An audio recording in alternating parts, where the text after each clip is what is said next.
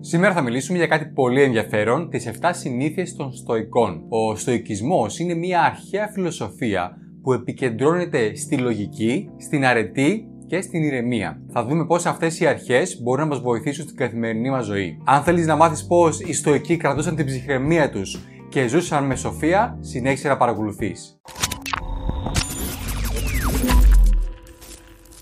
Είμαι ο Θοδωρής Αραμπατζής, δημιουργός του GreekCoach.gr και συγγραφέας του βιβλίου Ακαταμάχητο δικτυακό marketing. Και αυτό που κάνω είναι βοηθάω επαγγελματίες, coaches και άτομα που ασχολούνται με τις πωλήσεις και το δικτυακό marketing να πετύχουν στη ζωή και στην εργασία τους online και offline με απλό τρόπο. Πάμε να ξεκινήσουμε κατευθείαν με την πρώτη συνήθεια. Εστιάσου στο τι μπορείς να ελέγξεις. Η πρώτη συνήθεια των στοικών είναι η εστίαση στο τι μπορούμε να ελέγξουμε. Οι στοικοί πίστευαν ότι στη ζωή μας υπάρχουν δύο κατηγορίες πραγμάτων.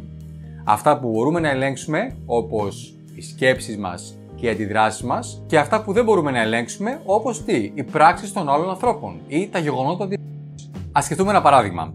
Φαντάσου ότι είχες μια κακή μέρα στη δουλειά. Οι στοικοί θα σου έλεγαν να επικεντρωθείς στον τρόπο που θα αντιδράσεις σε αυτή την κατάσταση, που θα ανταποκριθείς. Γιατί αυτό είναι που ελέγχεις εσύ.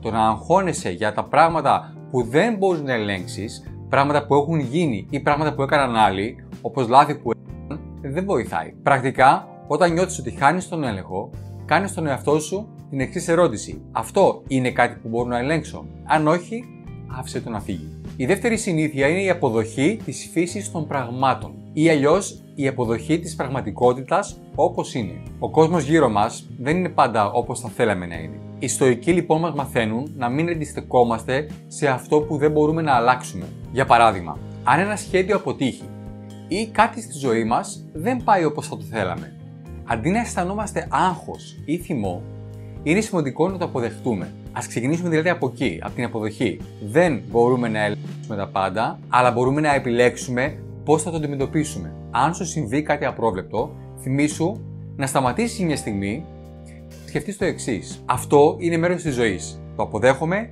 και προχωράω. Έτσι θα κρατήσεις την ηρεμία σου. Σίγουρα κάποια πράγματα είναι πιο δύσκολο να τα αποδεχτούμε και εδώ η συμβολή της θεραπείας ή ενός ειδικού είναι πολύ βοηθητική. Η τρίτη συνήθεια των στοικών είναι η διατήρηση της ηρεμίας μπροστά στις δυσκολίες. Οι στοικοί, όπως ο Μάρκος Αβρίλιος, πίστευαν ότι οι δυσκολίες είναι ένα αναπόφευκτο μέρος της ζωής. Και η σωστή αντίδραση είναι μια αντίδραση, μια ανταπόκριση με ηρεμία και αυτοσυγκράτηση. Φαντάσου να βρίσκεσαι σε μια δύσκολη κατάσταση, όπως ένας καυγάς ή μια αποτυχία.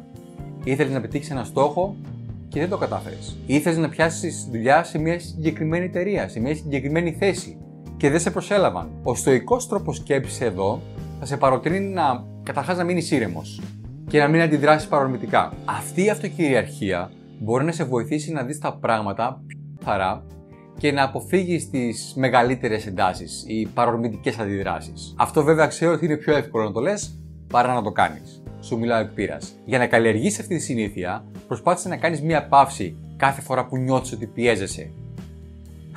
Πάρε μια βαθιά αναπνοή και σκέψου, πώς έβλεπε αυτό ένα στοικό. Έτσι θα μπορέσεις να διατηρήσεις την ψυχραιμία σου και επίσης δάγκωσε η γλώσσα σου.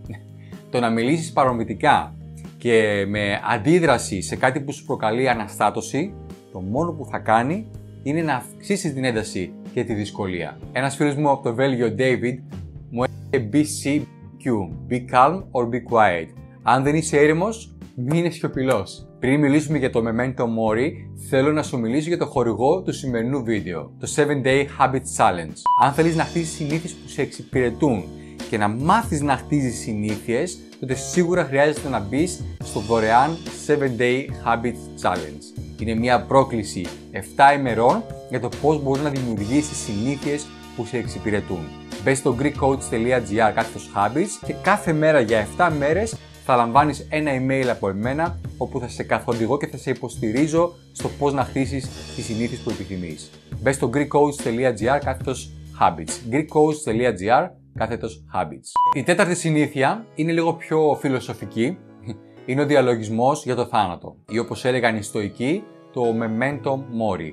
Δηλαδή, θυμήσου ότι θα πεθάνεις. Αυτό ακούγεται λίγο σκοτεινό ίσως, αλλά στην πραγματικότητα είναι ένα δυνατό εργαλείο για να ζούμε με πληρότητα.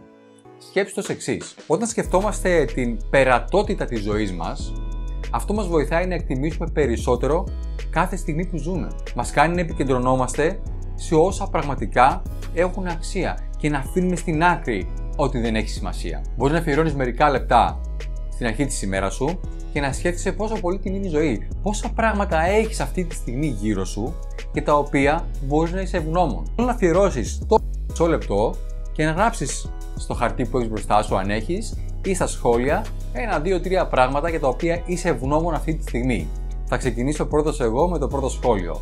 Και κάνοντας το αυτό, το να αφιερώνεις δηλαδή αυτά τα λίγα λεπτά κάθε μέρα για να σκεφτείς πόσο πολύτιμη είναι η ζωή, θα σε βοηθήσει να ζεις με μεγαλύτερη επίγνωση και ευγνωμοσύνη. Η πέμπτη συνήθεια των Στοικών είναι η επικέντρωση στην αρετή και όχι στα εξωτερικά αγαθά. Οι Στοικοί πίστευαν ότι η ευτυχία μας δεν εξαρτάται από τα τελικά αγαθά ή από τη φήμη, αλλά από την αρετή μας, δηλαδή το πώς ζούμε, αν ζούμε με σοφία και με ηθική.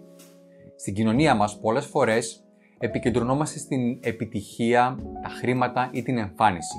Όμως οι Στοικοί θα μας έλεγαν ότι αυτά όλα είναι παροδικά και ότι η αληθινή ευτυχία έρχεται από το πώς συμπεριφερόμαστε στους ανθρώπους του γύρω μας αλλά και στον εαυτό μας. Μπορείς να εφαρμόσεις αυτή τη συνήθεια εστιάζοντας στην προσωπική σου ανάπτυξη και στη σχέση σου.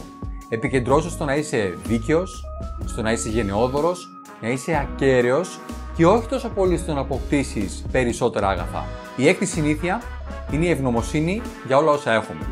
Οι στοικοί μας υπενθυμίζουν να κοιτάμε αυτά που έχουμε και να μην κυνηγάμε διαρκώς περισσότερα. Στη σύγχρονη εποχή, πολλές φορές πραγματικά επικεντρωνόμαστε σε ό,τι δεν έχουμε, αγνοώντας τα καλά που ήδη υπάρχουν στη ζωή μας. Οι στοικοί μας καλούν λοιπόν να κάνουμε το αντίθετο. Να είμαστε ευγνώμονες για ό,τι έχουμε, γιατί τίποτα δεν είναι δεδομένο. Μια καλή πρακτική είναι να κρατάς ένα ημερολόγιο ευγνωμοσύνης, όπου κάθε μέρα σημειώνεις τρία πράγματα για τα οποία είσαι ευγνώμων. Αυτό θα σε βοηθήσει να δεις τη ζωή σου με μεγαλύτερη πληρότητα. Η τελευταία συνήθεια για την οποία θα μιλήσουμε είναι η καθημερινή αυτοκριτική. Ο Σένεκας, ένας από τους μεγαλύτερους στοικού φιλοσόφους, συνήθιζε να εξετάζει κάθε βράδυ τις πράξεις του μέσα στην ημέρα. Αναρωτιόταν αν έζησε σύμφωνα με τις αξίες του και αν έδρασε με αρετή. Αυτή η πρακτική είναι ένα εξαιρετικό εργαλείο για προσωπική ανάπτυξη. Κάθε βράδυ αφιέρωσε λίγα λεπτά για να σκεφτείς. Ήμουν δίκαιος. Ήμουν ήρεμος δυσκολίες. Έκανα το καλύτερο που μπορούσα. Η καθημερινή αυτοκριτική δεν πρέπει όμως να είναι μια διαδικασία τιμωρίας, αλλά μια ευκαιρία να μάθουμε και να βελτιωθούμε. Μπορείς να κρατάς σημειώσεις σε ένα ημερολόγιο και να εξετάζεις τις μικρές σου νίκες αλλά και τα λάθη σου, ώστε κάθε μέρα να πηγαίνεις ένα βήμα μπροστά, να γίνεται ένα βήμα προς την αρετή και τη σοφία. Αυτές οι 7 συνήθειες των Στοικών μπορούν να μας διδάξουν πώς να ζούμε με μεγαλύτερη ηρεμία, σοφία και ανθεκτικότητα. Από την εστίαση στο τι μπορούμε να ελέγξουμε μέχρι την καθημερινή αυτοκριτική, ο στοικισμός μας δείχνει έναν δρόμο για μια καλύτερη ζωή. Αν βρήκες χρήσιμες τις σημερινές ιδέες, κάνε like και subscribe στο κανάλι για περισσότερα τέτοια βίντεο με φιλοσοφία και αυτοβελτίωση. Και θέλω να σε ρωτήσω, ποια από αυτές τις συνήθειες θα προσπαθήσεις να ενσωματώσεις στη ζωή σου; Άφησε το στα σχόλια και θα χαρώ να το συζητήσουμε. Αν θέλεις να δεις περισσότερα βίντεο για το χτίσιμο σωστών συνηθιών, τότε σίγουρα δες αυτό.